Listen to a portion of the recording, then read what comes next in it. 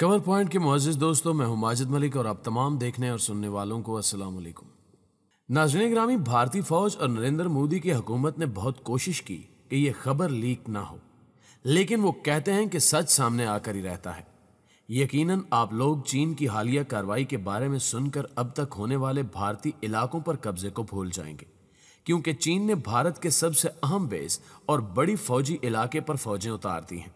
सिर्फ़ यही नहीं, बल्कि चाइनीज़ फौज ने भारतीय फौज को इलाके से भागने पर मजबूर करके पेट्रोलिंग से भी रोक दिया है। चाइना ने सू थर्टी जंगी तैयारे भी मैदान में उतार दिए हैं। चीन ने भारत के कौन से अहम तरीन बेस और फौजी इलाके में फौजें उतारी हैं? ये इलाका इतना अहम क्यों है? इस पर आगे चलकर तफसीली बात की जाएगी।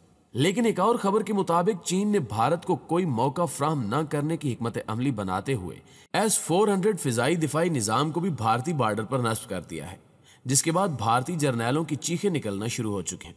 दूसरी जानब, नरेंद्र मोदी ने हर चीज़ हाथ से निकलते देखकर सू थर्टी महराज two thousand, MiG twenty nine चन्योक helicopters, jamming radars और मुख्तलिफ़ जासूस त्यारे बॉर्डर पर तैनात करवा दिए हैं, जबकि भारतीय एयरफोर्स के चीफ ऑफ़ एयर स्टाफ ने चाइना को धमकी देते हुए वार्निंग जारी की है कि हम मरने वालों की हलाकत जाया नहीं होने देंगे। हम बिल्कुल तैयार हैं। भारतीय एयर चीफ ने मजीद क्या कहा? क्या भारत वाकई चीन पर जवाबी हमला करने जा रहा है? अगर भारत ऐसा करता है तो क्या भारत इस काबिल है कि चीन को शिकस्त दे सके? इन तमाम तर सवाल के जवाब आपको गोश गुजार करने से कबल।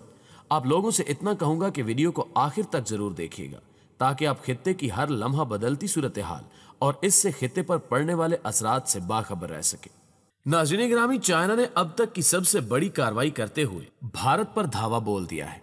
दर हकीकत चीन ने लद्दाख, प्यांगसू, झील और वादी गुलवान के बाद भारत के सबसे बड़े बेस और अहम फौजी एरिया, यानी डीबीओ पर कब्जा करने के लिए चीनी फौजें उतारी जा चुकी हैं। यूँ चाइना ने डीबीओ, यानी दौलत बेग ओल्डी रोड पर नया जंगी महाज खोलते हुए भारतीय फौजियों का जीना हराम कर दिया है।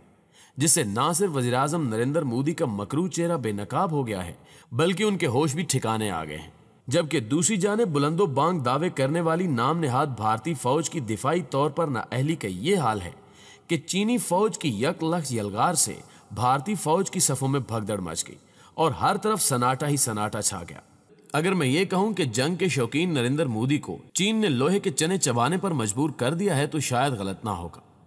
भारतीय मीडिया के तमाम चैनल्स ने जो बात दबाने की कोशिश की, वो दरअसल कुछ यूँ है कि फार्मर कैबिनेट मिनिस्टर और लद्दाख में कांग्रेस के मौजूदा प्रेसिडेंट ने तमाम मीडिया चैनल्स को बुलाया और कहा कि डीबीओ सेक्टर भी हमारे हाथ से निकल चुका है।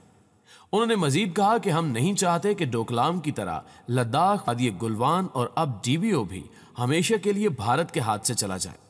इसलिए भारतीय हुकूमत को चाहिए कि वो सबको एतमाद में लेकर चाइना के खिलाफ कार्रवाई करे। लेकिन मोदी के हाथों बिके मीडिया चैनल्स ने यह बात किसी चैनल पर भी ना चलाई, क्योंकि मोदी भारतीय अवाम को सच से दूर रखना चाहता है। वाजह है कि यह वही सेक्टर है जो कराक्रम हाईवे को मिलाता है। डीबीयू सेक्टर इतना अहम इसलिए भी है, क्योंकि ये इंडिया की मिलिट्री बेस है और इसके बिल्कुल सामने कश्मीर और साथ में सियाचिन और कारगिल मौजूद है। यही वो एरिया है जिस पर चाइना मुकम्मल कब्जा करने के बाद इंडिया के सियाचिन पर कब्जा करके भारत को कश्मीर से काट देगा। यूँ इनशाला कश्मीर भारत के हाथ से आज़ाद हो जाएगा। चाइना ने अपना मकसद पूरा करने के लिए उस इलाके में अपने सू थर्टी जंगी त्यारे भी तैनात कर दिए हैं, ताकि भारत ना तो जवाबी कार्रवाई कर सके और ना ही भारतीय फौज को यहाँ से दुम दबाकर भागने का मौका दिया जाए। नाजरीन ग्रामीण नरेंद्र मोदी ने नाजुक सूरत को भांपते हुए भारत की तमाम मुसल्ला अफवाज को कई दिनों से हाई अलर्ट जारी किया हुआ है। जिसके बाद भारत की तमाम मुसल्ला अफवाज ने ज्वाइंट ऑपरेशन करते हुए जंगी तैयारियाँ भी मुकम्मल कर ली हैं। भारतीय फिजाइया ने चाइना को मुँह तोड़ जवाब देने और चाइना के सू थर्टी जंगी तैयारों का मुकाबला करने के लिए न सिर्फ़ इंडियन सू थ्री जंगी तैयारे मैदान में उतार दिए हैं बल्कि भारत मिग 29, महराज 2000, चिनोक जंगी हेलीकॉप्टर्स और बहुत से जासूस त्यारे भी मैदान में ले आया है।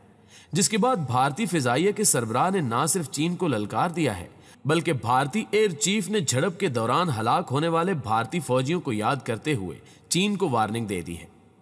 उन्होंने वार्निंग देते हुए कहा कि हम अपने नौजवानों की हलाकतों को ज़ाया नहीं होने देंगे। उन्होंने मजीद कहा कि हम अमन सलामती से सभी मामलों को हल करना चाहते हैं। लेकिन हम चीन को यह भी बता देना चाहते हैं कि किसी भी जाहरीत का जवाब देने के लिए हमारी फौज पूरी तरह से तैयार है। उन्होंने ये भी कहा कि हम अपने तमाम इलाके चीनी फौज से वापस लेने के लिए तैयारियाँ मुकम्मल कर चुके हैं। जिससे ये बात वाजे हो जाती है कि भारत मुमकिन तौर पर चीन पर हमला कर सकता है। लेकिन चीन की जहानत के क्या कहने? आप लोग ये जानकर चीनियों की तारीफ़ करने पर मजबूर हो जाएँगे कि चीन भारत की जानब से जवाबी कार्रवाई को मद्देनजर रखते हुए पहले ही नाकाबले तस्कीर दिफाई हमत अमली तरतीब दे चुका है। यानी अगर भारत अपने जंगी त्यारों या फिर बैलिस्टिक मिसाइल के ज़रिए चीन पर हमला करता है तो चाइना का कुछ बिगड़ने वाला नहीं है। बल्कि आप लोग ये जानकर हैरान रह जाएँगे कि हमला करने से उल्टा भारत का ही नुकसान होगा, क्योंकि चीन ने लद्दाख में दुनिया का बेहतरीन फिजाई दिफाई सिस्टम, यानी एस फोर हंड्रेड तैनात कर दिया है। यह खबर आने की देर थी कि भारतीय जर्नैलों की भी चीखें निकल गई, जिसका वाज सबूत इस बात से मिलता है कि भारत के सबका मेजर जनरल बख्शी ने भारतीय अफवाज को चीन पर हमला करने से पहले ही खबरदार कर दिया है। उन्होंने कहा है कि चीन पर भरोसा मत करना। चीन हमें बुरी तरह धोखा देने की कोशिश कर रहा है। लिहाजा अगर भारत ने चीन पर हमला कर दिया तो चीन एस फोर हंड्रेड फिजाई दिफाई सिस्टम की मदद से न सिर्फ़ भारत के जंगी त्यारे मार गिराएगा, बल्कि बैलिस्टिक मिसाइलों को भी देखते ही देखते ज़मीन बोस कर देगा, जिसके बाद चीन को भारत पर तबाहकुन जवाबी कार्रवाई का बेहतरीन जवाब मिल जाएगा और यूँ भारत की सलामती खतरे में पड़ जाएगी। वाज रहे कि यह वही दिफाई सिस्टम है, जिसे हासिल करने के लिए भारत रूस की मुसलसल मिनतें तरले कर रहा है।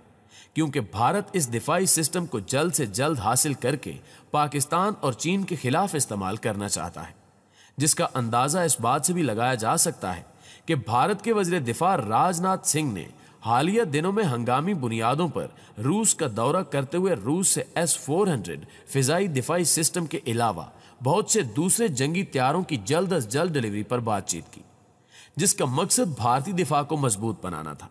दोस्तों, यहाँ पर सोचने की बात यह है कि चीन तो पहले ही भारत को गर्दन से दबोचे खड़ा और हर गुजरते दिन के साथ किसी न किसी नए इलाके पर कब्जा करते चले जा रहा है, जबकि भारत की जानब से खामोशी इस बात का वाज सबूत है कि भारत को कुछ समझ नहीं आ रहा कि वो चीन के साथ निमटे तो आखिर किस तरह निमटे। अब अगर भारत ने खामोशी तोड़ते हुए जंगी त्यारे बॉर्डर पर भेजे ही थे तो भारत के जर्नैलों ने भारतीय अफवाज को पहले ही खबरदार कर दिया है कि चीन एस फोर हंड्रेड फिजाई दिफाई सिस्टम नष्ट कर चुका है। लिहाजा चीन पर किसी भी तरह की फौजी कार्रवाई करना अपने पाँव पर खुद कुल्हाड़ी मारने के मुतरदिफ है। इस हवाले से अमरीकी अखबार वाशिंगटन पोस्ट ने हैरान कन इंकशाफ करते हुए कहा कि लद्दाख में भारतीय फौजियों की हलाकत के बाद भारत को समझ में नहीं आ रहा कि वो अपने पड़ोसी मुल्क को कैसे जवाब दे। भारत के लिए चीन के खिलाफ फौजी कार्रवाई बहुत बड़ा रिस्क है, क्योंकि दोनों ममालिक जौहरी ताकत के हामिल हैं। फौजी कार्रवाई की सूरत में कशीदगी बढ़ेगी। कशीदगी बढ़ने की सूरत में भारत चीन से जंग लड़ने का मुतहमिल नहीं हो सकता, क्योंकि ना तो भारत के पास मज़बूत दिफाई निज़ाम मौजूद है और ना ही भारत के पास इतना असलह है कि वो कई दिन तक चीन से जंग लड़ सके, जबकि चाइना इन तमाम चीज़ों से माला माल है। यही वजह है कि चीन ने भारत को दो टोक पैगाम देते हुए कहा कि अगर भारत ने नया तनाज़ा खड़ा किया तो उन्नीस सौ बासठ से ज़्यादा रुसवा कर देंगे। चीनी अखबार ग्लोबल टाइम्स ने लिखा कि मोदी सख्त बयान देकर महज इंतहा पसंदों को मुतमिन करने की कोशिश कर रहे हैं और साथ ही सूरत हाल को ठंडा करने की भी कोशिश की जा रही है। वगरना भारतीय वजर अजम नरेंद्र मोदी बखूबी जानते हैं कि वो चीन से जंग लड़ने के मुतहमिल नहीं हो सकते। बहरहाल दोस्तों, भारत और चीन दोनों की जानब से सू थर्टी जंगी त्यारे एक दूसरे पर कहर ढाने के लिए तैयार खड़े हैं। हर कोई ये जानना चाहता है कि दोनों जंगी त्यारों में से कौन सा जंगी त्यारा दूसरे पर सबकत ले जाने की सलाहियत रखता है। इसी चीज़ को मद्देनजर रखते हुए अगर आप भी इन दोनों जंगी त्यारों के दरमियान मुआवजे की एक तफसीली वीडियो देखना चाहते हैं तो कमेंट करके ज़रूर आगा कीजिएगा, ताकि आने वाले दिनों में आप लोगों की ख्वाहिश के मुताबिक इस टॉपिक पर भी वीडियो बनाकर आपके गोश गुजार की जा सके। दोस्तों, आज की वीडियो में इतना ही। अगर वीडियो अच्छी लगे तो इसे लाइक करते हुए अपने दीगर दोस्तों के साथ शेयर ज़रूर कीजिएगा। जल्द ही हाजिर होते हैं एक नई वीडियो के साथ। तब तक अपना और अपने प्यारों का ढेर सा ख्याल रखिए। अल्लाह निगेबान।